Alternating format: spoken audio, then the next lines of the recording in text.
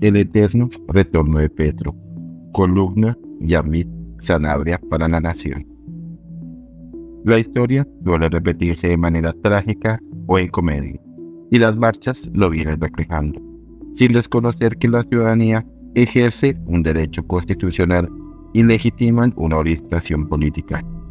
La polarización no es nada nuevo, solo va marcando el camino de las próximas elecciones presidenciales.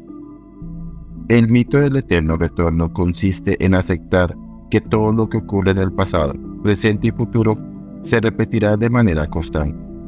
Y eso le ocurrió al presidente Petro, que el 29 de abril de 2021 escribía en su cuenta de Duque escucha, un gobernante debe siempre escuchar y corregir si es necesario, frente a las manifestaciones de aquel entonces. Y el 21 de abril subió un video que decía, la clase dominante del recordado Jaime Garzón, el tono de burla a quienes marchaban. Toda una contradicción.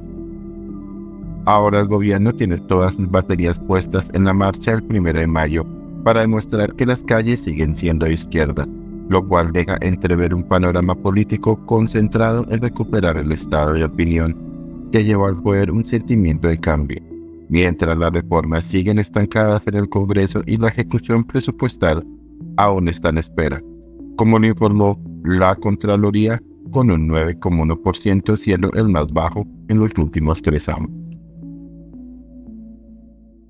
Hay que escuchar al constituyente primario, que es el pueblo, pero ¿a cuál ciudadano escuchará al presidente?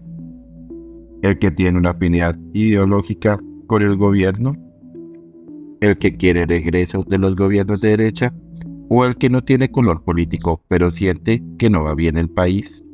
En mi concepto deberían ser todos, y más aún en una coyuntura de violencia, el eterno problema de todos los gobiernos. Finalmente, desde centralistas y federalistas, conservadores y liberales, Petro y Uribe, y ahora izquierda y derecha, el país siempre ha estado dividido. La cuestión radica en que si los dirigentes encausan sus esfuerzos en ganar las próximas elecciones y no en gobernar, estar perjudicados será lo único que tendremos en común.